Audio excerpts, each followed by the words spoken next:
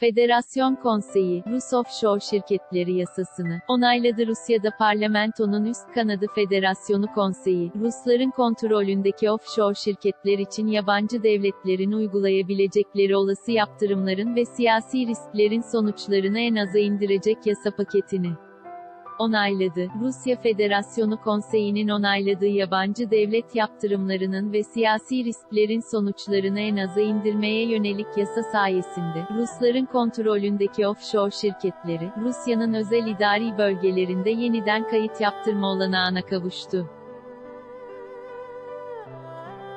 Yasa paketi, Vladivostok'taki Ruski adaları ile Rusya'nın Kaliningrad'daki Oktyabrski adasında yabancı şirketlerin Rusya Federasyonu'nun redomiksilasya yargı yetkisine tabi olması ve uluslararası şirket statüsü kazanması için fırsat tanıyor. Bunu yapmak için şirketin yurt dışında tasfiye edilmesi gerekmeyecek.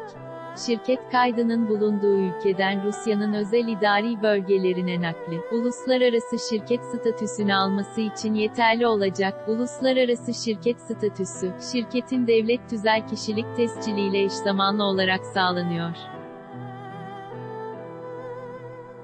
Bunun için şirketin devlete kayıt yaptırdığı tarihten itibaren 6 ay içinde Rusya Federasyonu'nda en az 50 milyon ruble yatırım yapmayı ve bir dizi başka talebi yerine getirmeyi taahhüt etmesi gerekiyor. Rusya Federasyonu'nun para birimi mevzuatı açısından yargı yetkisinin değiştirilmesi sonrası, uluslararası statüye sahip olan kayıtlı bir şirket, yabancı bir kuruluş, yerleşik olmayan, olarak kabul edilmekte. Uluslararası şirket, Rusya Federasyonu'nun yabancı şirketlerle ilgili yasaları çerçevesinde, kısıtlama olmaksızın döviz işlemlerini ve yerleşikleşmeyi gerçekleştirme hakkına sahip olacak, hatta yerli şirketlerin sahip oldukları vergi muafiyeti avantajlarından da yararlanabilecek.